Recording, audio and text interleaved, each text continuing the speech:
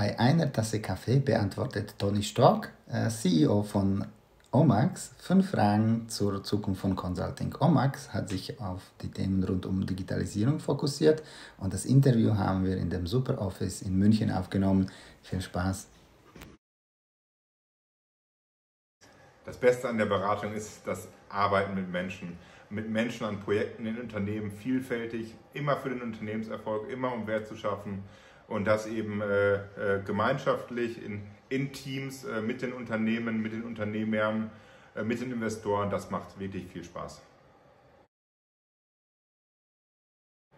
In der Zukunft der Beratung wird wesentlich mehr das intellektuelle, das intelligente, schnelle Arbeiten äh, von, vonnöten sein. Weniger äh, die Prozessgenauigkeit, äh, da das halt teilweise dann auch wirklich äh, standardisiert werden kann durch Technologie. Das heißt, der Fokus wird tatsächlich sein, maßgeschneiderte Lösungen für Kunden zu liefern, mit dem Kunden zusammen, die dann Wert schaffen, und zwar unmittelbar. Also es wird immer wichtiger, auch in den nächsten drei Jahren, alles, was man als Beratung tätigt, umsetzbar zu machen, und zwar sofort. Das heißt, der nahtlose Übergang von Beratungsleistungen in Umsetzungsprojekte ist das Allerwichtigste. Es muss hands-on umsetzbar sein. Was wir weniger brauchen, sind die, sind die Vorstandspräsentationen. Wir brauchen wirklich Wertschöpfung in Unternehmen und dafür brauchen wir umsetzbare Strategien. Technologie ändert die Beratungsbranche in der Art, wie man kommuniziert, in der Art, wie man optimiert, seine eigenen Prozesse optimiert und automatisiert.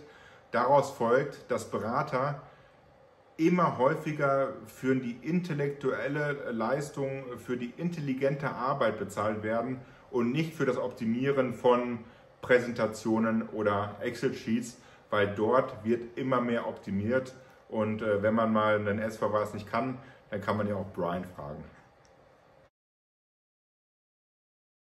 Wir sind so attraktiv für Talente, weil wir an den spannendsten Digitalprojekten arbeiten. Bei uns lernt man Beratungskompetenz und Umsetzungskompetenz alles aus einer Hand. Das heißt, wirklich das, was in der Zukunft benötigt wird.